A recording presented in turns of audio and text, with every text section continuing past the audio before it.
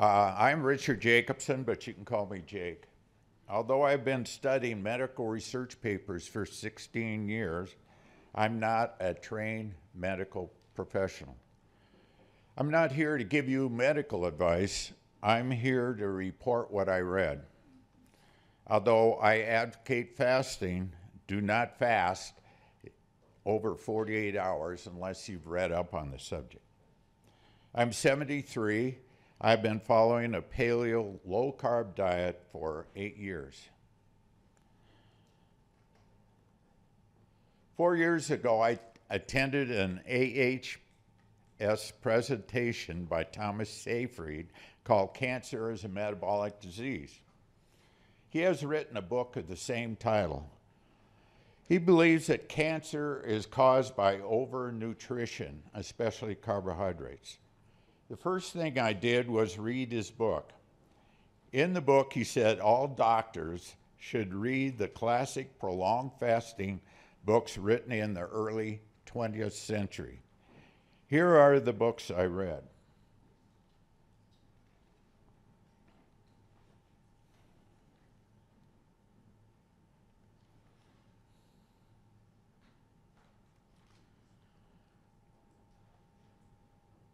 Prolonged fasting was common from 1900 to 1930. During that period, visits to medical doctors dropped by 50%. Most people fasted in their homes and were visited daily by fasting practitioners who specialize in conducting fasts.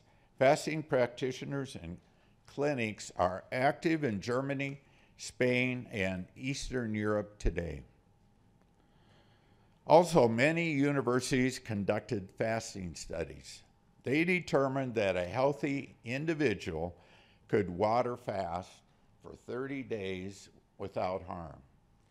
These books are full of case histories of people who had seemingly incurable diseases who were fasted to health. I found one book where a doctor had kept statistics on 614 patients over a 10 year period who were fasted to effect a cure. Out of 614 patients, only 13% were not cured or improved. These are amazing statistics.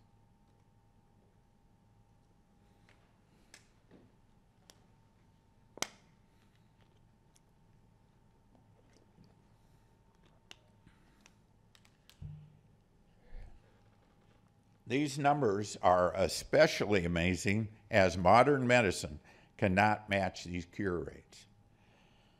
My curiosity drove me to discover why these cures occurred.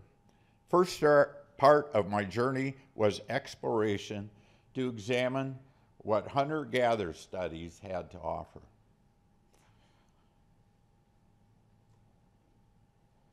Hunter gatherer researchers found that isolated hunter gatherers, without exception, rarely had diseases of aging.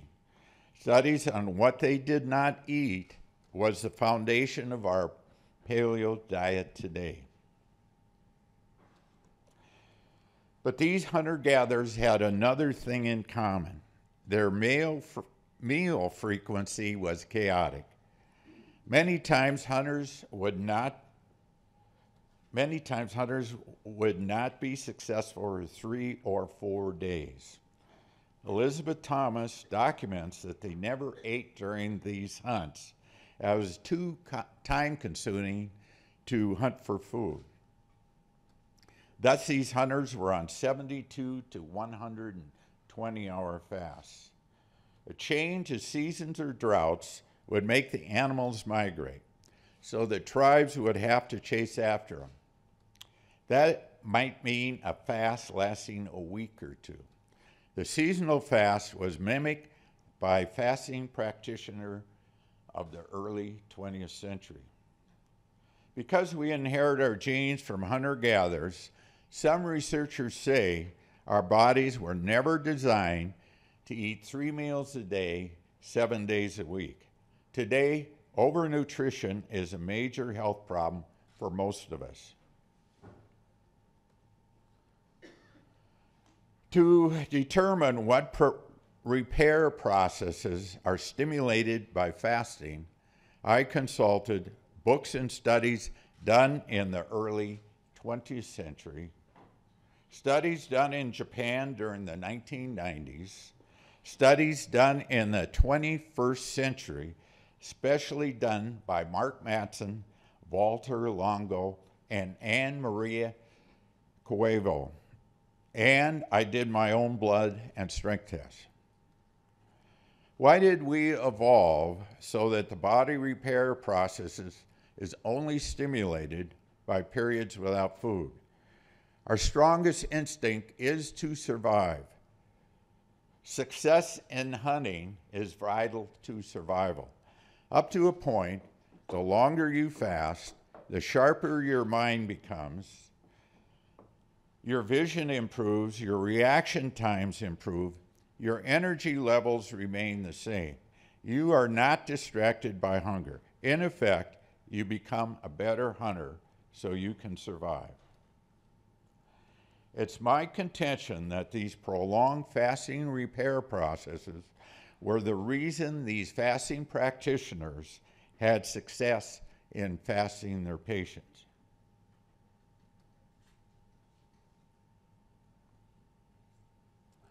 I found that there are eight major repair processes that were supported by over 200 studies.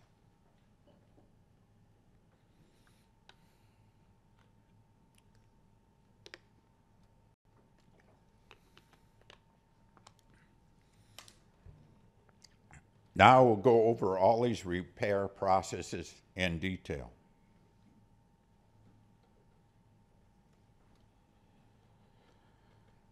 Damage within the cell to proteins, mitochondria, DNA, and other cell components account for many age related diseases.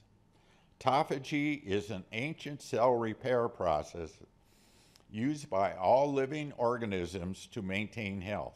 Normally, cells do automatic autophagy during the night to clean up damaged cell components and keep cells functioning efficiently. Researchers found that as you age, autophagy decline. However, they also found that you can always force autophagy by fasting. Autophagy is a hot research area. Researchers are busy giving mice diseases by changing their genes and then fasting them to cure their disease through autophagy. Researchers have had good success in their experiments. Unfortunately, only autophagy in animals has been studied, so we don't know how long an older person like me has to fast to force autophagy. During my prolonged fast, I tried to determine when autophagy occurs during the fasting process. Based on improvements in my skin and strength, autophagy probably starts after four days of fasting.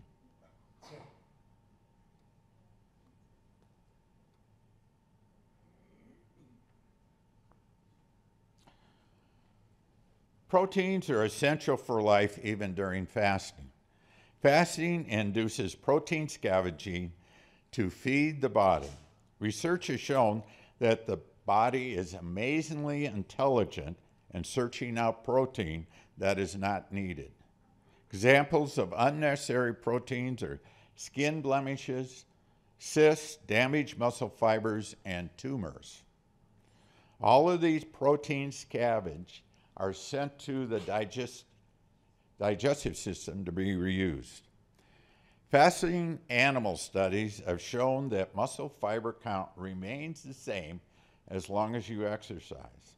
The muscle fiber is basically hollowed out for protein, but that's as done as a last resort. When you refeed, the muscle fiber is automatically filled in without exercise.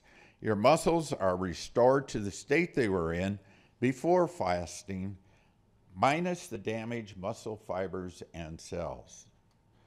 This makes evolutionary sense in a hunter who has gone a long period without food needs to recover fast.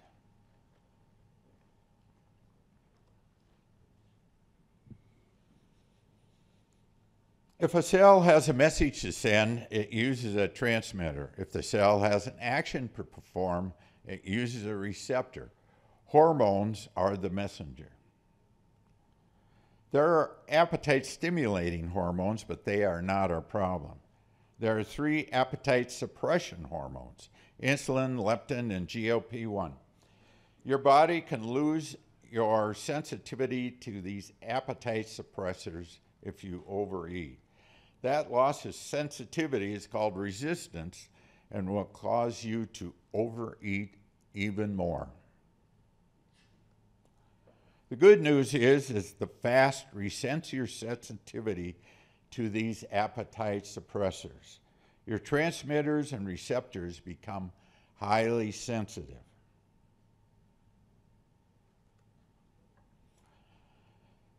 Cancer cells need lots of blood glucose to flourish. Based upon his treatment of brain cancer patients, Dr. Seyfried states that if you get your blood sugar below 70, the tumor will start to shrink. Free floating cancer cells will die. Sandra's and my blood sugar fell from 90 to below 70 the fourth day of fasting and remained so throughout the fast.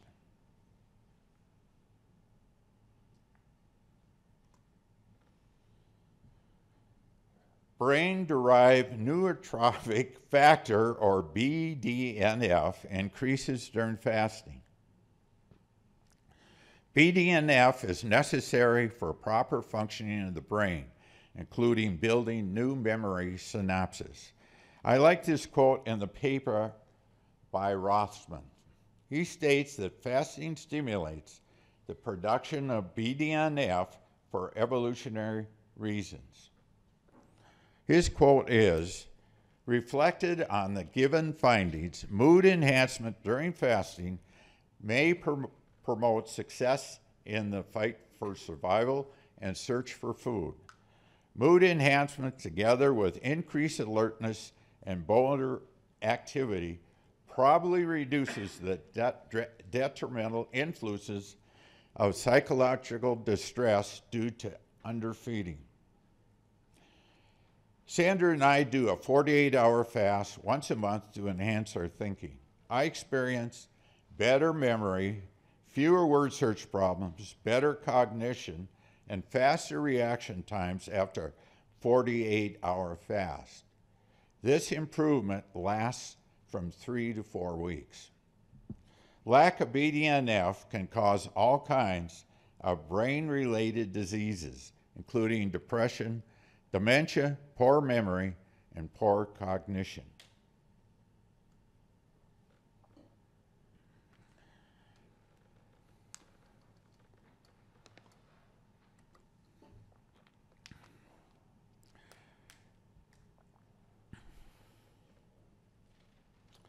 SIRT proteins create enzymes that maintain a healthy cell structure.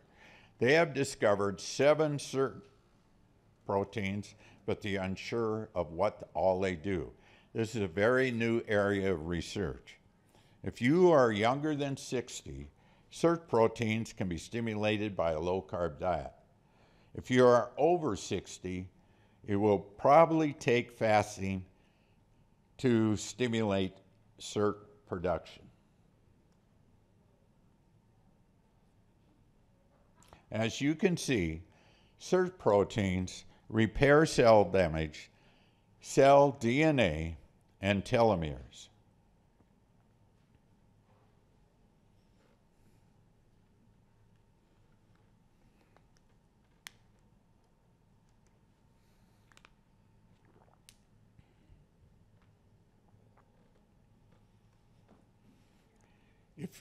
You have read that visceral fat is a dangerous fat, but few in the medical profession realize how dangerous visceral fat is. It may be the major cause of aging diseases. Healthy cytokines are proteins that are pulsed in small quantities to create infl- inflammation that is used in various body processes. Examples are creating more muscle due to exercise or more blood, blood cells due to increases in altitude. Excess visceral fat generates large quantities of unhealthy cytokines. Those cytokines create a dangerous amount of in- inflammation in our bodies.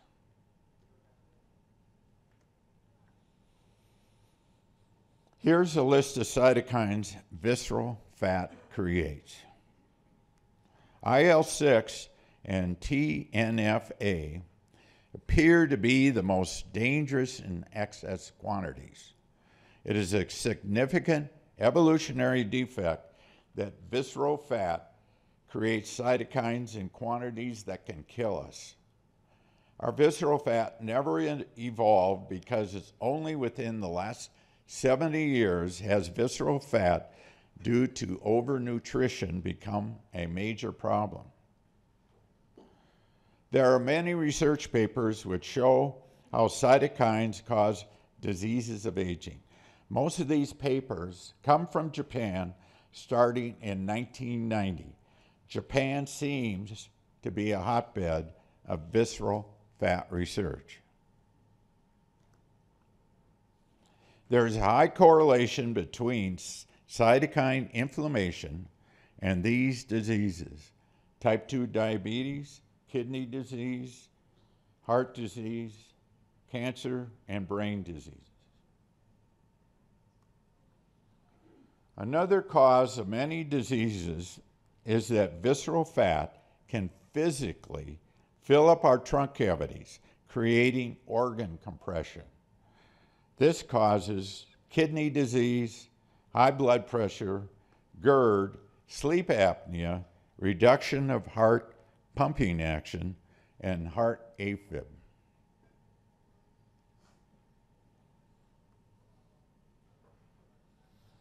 For people over 40, perhaps the greatest benefit of prolonged fasting is visceral fat reduction. Sandra and I, during our annual 10 day fast, noticed that we lose almost no external fat. More about this later. What we do lose is six to eight pounds of visceral fat. Our stomach and waist almost cave in. Blood tests and measurements back this loss. It is a common complaint from fasters at the clinic they don't lose any external fat except for their face but all of them seem to end up with smaller waists and hips and thinner faces. Part of my exploration journey was to find out why this happened.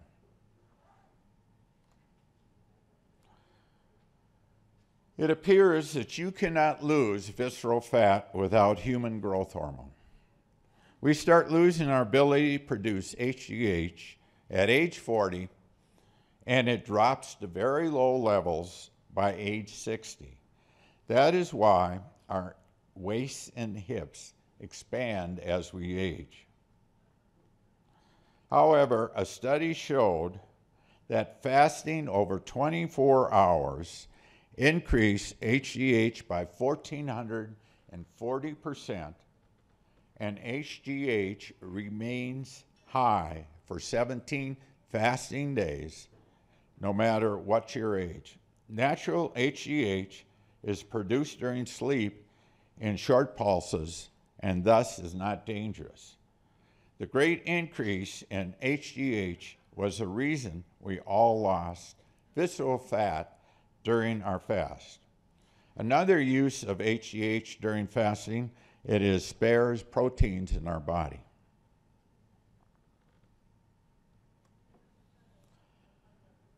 Adiponectin is a protein produced by external body fat.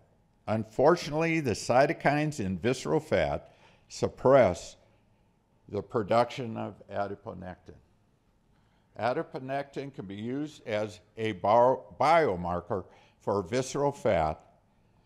HDL is a biomarker for adiponectin and is easier to measure than APN directly. Adiponectin is almost the exact opposite of cytokines. Adiponectin reduces inflammation. Adiponectin reverses all the problems caused by visceral fat, plus, it improves almost all of the blood values we measure. It is the greatest anti aging drug in existence and is all naturally produced, but is produced only if you do not have excess visceral fat. A Japanese longevity study showed that there is a correlation between APN levels and longevity.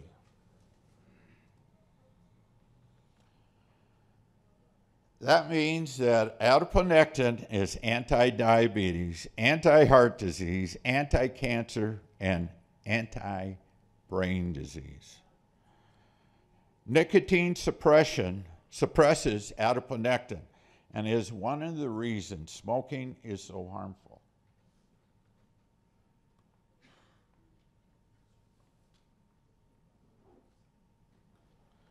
This side shows that too much visceral fat causes inflammatory cytokines. But as visceral fat decreases, anti inflammatory adiponectin is produced by our external fat and continues to increase as visceral fat disappears.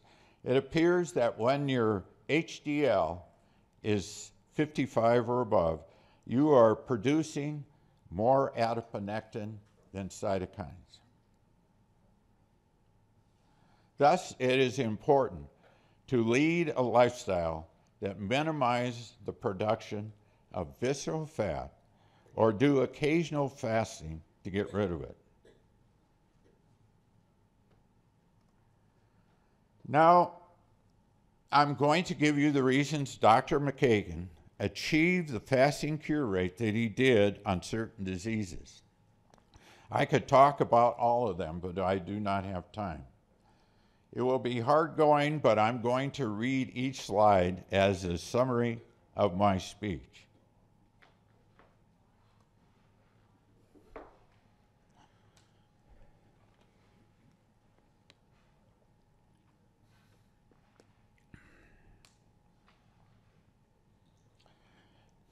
Okay, type 2 diabetes. He had 14 cases, 12 cured or improved, and here's why it happened. Hormone receptor and transmitter reset improved insulin resistance and metabolic performance. Autophagy increased the performance of the pancreas and the liver. Reduction of inflammatory cytokines and increases APN reduces blood sugar overproduction and insulin underproduction. Reduction of visceral fat compression improves the performance of the pancreas and the liver. High blood pressure, 141 cases, 141 cured or improved. Kidney disease, 41 cases, 36 cured or improved. Here's the reason that happened autophagy improves kidney performance, reduction in inflammatory cytokines and increases APN reduces blood pressure. Reduction of visceral fat compression improves the performance of the kidney.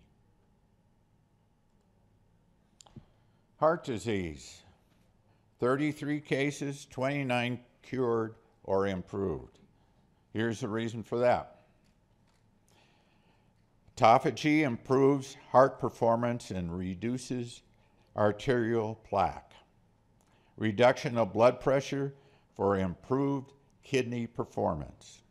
Cytokine reduction stops production and growth of arterial lesions, which reduces plaque formation. Cytokine inflammation reduction reduces AFib and blood clots. Increases in adiponectin suppresses plaque formation. Reduction of visceral fat compression around the heart improves its mechanical pumping action and reduces AFib. Reduction in cytokines reduces ferritin retention, which reduces the body's inflammatory load. Increases in adiponectin reduces small, dense LDL particles. Increases in adiponectin increases HDL3 and HDL2 particles, which prevent LDL oxidation and excess LDL. Cancer, five cases, five cured or improved. Autophagy and SIRT protein repairs defective cells and prevents them from becoming cancerous. Prolonged glucose deprivation kills cancer cells. Protein scavenging removes free floating cancer cells and small tumors. Diabetes cure reduces blood glucose levels, which feed cancer cells. Reduces cytokine inflammation that causes cell damage and tumor growth.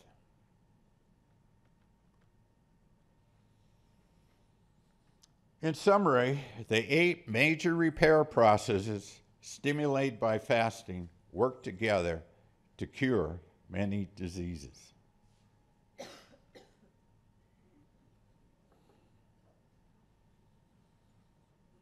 My wife, Sandra, and I did a medically supervised 10 day fast at the Buchinger Clinic in Marbella, Spain.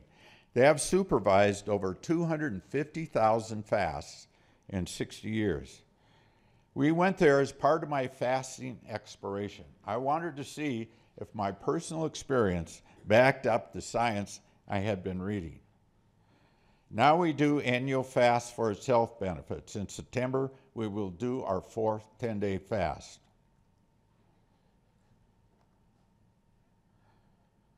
It was a medically supervised fast with daily visits to nurses or doctors. We ate 150 calories of vegetable broth per day, mighty thin vegetable broth.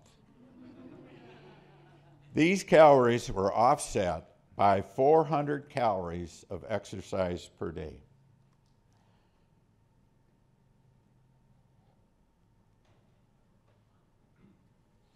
Exercise is difficult until you start. And then you have the energy to do what needs to be done.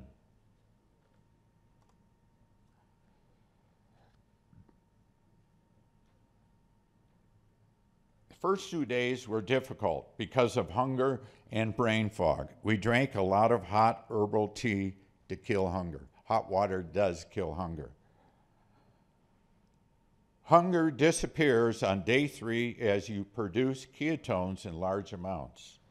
Brain fog disappears. Day four to 10 seems effortless.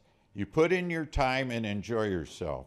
During those days, we had feeling of well-being, moderate energy levels, improved cognition, and improved vision.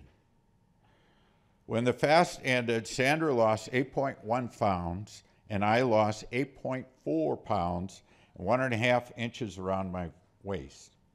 After the fast, we had four days of eating 800 calories per day of vegetarian meals. This light refeeding is necessary to get the body used to eating again.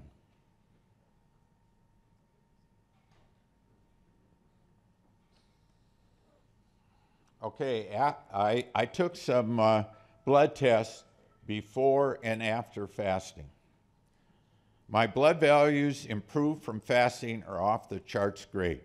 We have already discussed why this would occur. Values I'm especially happy about. Reduction of creatine, which means I no longer have kidney disease. Ferritin dropped by 34%.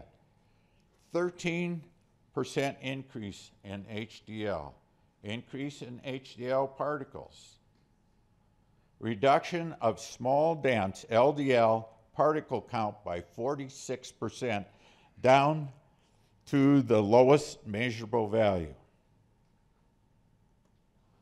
My daughter, who is director of fitness at Entrada Country Club, designed the strength test for my fast. I did five strength tests 12 days before fast, second day of fast, fourth day of fast, 10th day of fast, 20 days after fast. The machine tests the most I could lift in one repetition after warm up. There are three machine tests. Look at the leg press machine results in the top row. Note that I'm weaker until I pass the fourth day, where ketones really kick in. Then I become permanently stronger. I am stronger on my 10th day of fast than I was before I started the fast. I attribute that to autophagy cleaning up my muscle cells, which increase my performance. My experience shows that going without food for 10 days made me a better hunter. That's it.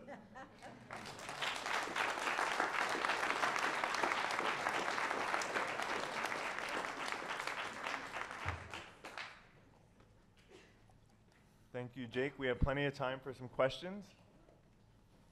Jake, that was a great talk. Thank Lest you. 100% of us run out and start fasting, can you talk about the people who shouldn't do it? Yes. Uh, I don't want to see diabetics who are taking medication fast without a doctor. Because here's what happens your blood sugar drops right away, and you're going to be over medicated. So you need a doctor. As you start losing visceral fat, you need a doctor to lower your medication levels uh, to uh, agree with what your blood sugar is. Same with high blood pressure. Your blood pressure is going to start dropping, and so you need to reduce your medicine then. And then the other people are gluttons, the people who, who absolutely have to eat. And it's just too hard psychologically to do that. However, I think fasting trains your hunger and it trains you to know that being hungry is not that bad a thing. And it might get you over your gluttony, but it's tough for those people. What about pregnancy, breastfeeding, HPA Oh, axis yeah, you're right. dysregulation, I, and I would disordered say eating? You got them all. Uh, Just wanted to warn everybody. I think of uh, adults, but no one under 18 should fast unless they have a problem, a, cer- a certain problem. Uh, what are some others? Oh, pregnancy? Nope, you don't want to fast during that. Uh, and I suppose really frail, oh, mal- malnourished people. And I'd have to say this probably most vegetarians are malnourished. They'll have a difficult time. Thank you. Yeah, oh, thank you for your interesting presentation. I had a question that's related to the previous uh, one. Um, I was wondering about people with a low BMI, let's say 18 or lower. You know what? It's uh, it's amazing to see. I saw a Russian ballet dancer, although she was uh, in her fifties. She looked skinny as all get out, and she fasted for ten days, and she only lost, I think, three pounds. And so somehow your body adjusts to the amount that you had to lose. And I imagine what she lost, because I couldn't see any difference in how she looked externally. She lost some visceral fat. Uh, I'm curious about your fasting recommendations. I think I heard you say you do this 10-day fast annually, and you do once a month a 48-hour fast. Yeah. And then, and also, what do you think of intermittent fasting, where you just only fast 16 hours every day and eat? Yeah, I do that. Uh, So what's your, what's your life like? Like, what do you fast? I, th- I think, yeah, I, I go from mealtime to probably eat lunch at 1. And uh, so what is that? That's 14, 15 hours. Then I do a 48 hour fast once a month. And then I, we do a 10 day fast once a year. Also, I've been starting to bring in another fast because uh, my whole family puts on visceral fat.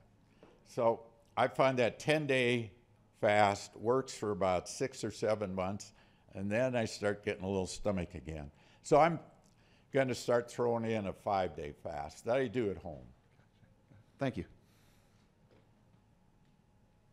If you're ketogenic, do, does this change the timing on the length of time for fasts and when a visceral fast, you know, when we might lo- start losing visceral fat and things like that and getting the benefits? If you're on a ke- ketogenic diet, And you currently do have ketones in your blood. Right. If you're uh, on a ketogenic diet, fasting is really easy for you because you're already a fat burner. You don't have to go through that transition. Uh, I would also say you probably don't have as much visceral fat. So what happens is is when you've run out of fat that the body wants to do, you get super hungry. Then you stop. You go a period with no hunger, no hunger, all of a sudden you're super hungry. That's when you stop fasting because you have no reason to fast anymore. You mentioned not to take on more than a 48 hour fast without reading up on it. Can you remind us like what resources would be the best place to start? Uh, here's here's what I did. I went to Kindle and did a uh, research on fasting results, and all these books that I talked about are all out of print. And uh, as a public service, people of uh, I, Gutenberg Project have put them on Kindle, and so just look for those, and they usually cost two or three dollars. Any particular ones that like top? Well, the one- The one uh, done by the doctor who runs the Buchinger Clinic, that is good because that follows the protocol we follow. Uh, I like Upton Sinclair's book and uh, Shelton. That's the other big guy. Uh, Shelton is his book is really good. Thank you very much. Uh, my or- original question has already been answered, so I appreciate that. But I thought of another one. Um, some years ago, I uh, was reading Bernard uh, Jensen's book, I believe it was, and uh, was motivated to go on a seven-day fast. But I, I also included the the high enema program, and got really pretty fascinating results. And all my joint pain went away, and I stopped eating wheat. And 23 years later, no arthritis. So um, I'm just wondering what you think of the high enema piece of that. Uh, the Buchinger Clinic recommends enemas, and I don't like it. One, they're painful, and you, what you are doing is washing out all of your gut bacteria, which I disagree with. Uh, studies shown that you can go a whole month without losing your gut bacteria. So I'm against it. Now, that's personal preference, but I don't think the science supports it. What they think is is that gut bacteria is uh, toxins that your body has released, and it's not toxins; it's your gut bacteria. So,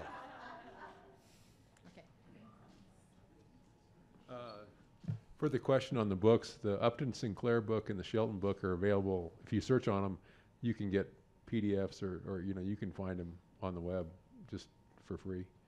Um, so I've only done th- a three-day fast. I, I, I but I, although, although I do 20, 22-hour intermittent fast every day, and I am ketogenic. But when I went to a three-day fast, I noticed uh, tongue coating, and and I understand looking at the fasting literature that's common. Um, but I could never figure out what, other than the fasting people say, oh yeah, that's your toxins coming out. Do you have any idea what, any scientific background on what, what the tongue coating is? oh, one of the mysteries of the world. I have looked everywhere for what that might be, and uh, the doctors at the fasting clinic says it's toxins released on your stomach, but God knows, it uh, it's really a mystery. Okay, thank you. Thank you for your presentation. I have very low blood pressure and I can't fast. Have you any recommendation? Low blood pressure. Yes, your your blood pressure. You know what? The only thing would be is eat more salt and more. Maybe you're a little dehydrated, but that might be a danger for you. That'd be something you have to really watch. Yeah. I have another one, short one. Do you know about the research from Austria about uh, coffee can uh, intensify, stimulate um, autophagy? What was that? Yeah.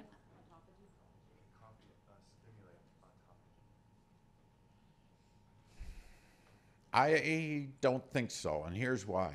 There's just too much nutrition in coffee. And if you're receiving nutrition, autophagy will stop, especially if you're eating proteins or antioxidants. And anti and coffee's full of antioxidants. So I would Okay. say no. Okay. Thank you. All right, thank you.